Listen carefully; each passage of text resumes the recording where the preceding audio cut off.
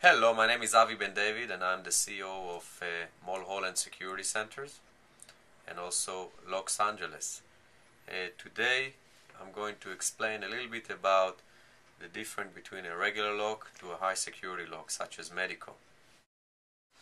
Alrighty, so let's do it uh, pretty fast over here. A Medeco lock, a regular, in this case it's a Schlage lock. Uh, the problem that usually we have we're going to have a strike that goes on the frame. Usually it will go in with those kind of screws. Every, one kick to the door usually is going to get open. A crowbar situation get it open.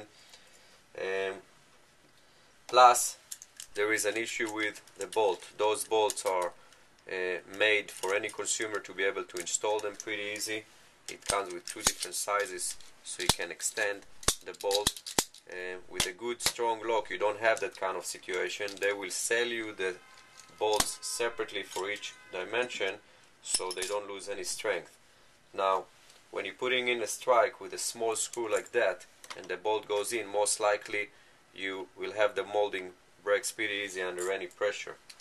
And with a high security lock, when we're installing it, we're putting two screws into that housing that call it reinforcement strike and then we're putting in the finish plate so it will look nicer with two other long screws situation like that goes into your frame so it goes to the beam you know there is a 2 by 4 in here or 4 by 4 everything goes into it and then when we lock the lock like that kind of situation when the bolt goes in you have a lock that is impossible to pick open drill resistant lock plus no one can get a duplicate of this key without your permission only the owner of the lock can get a duplicate of this key. So when you have a situation like that, you are much more secure.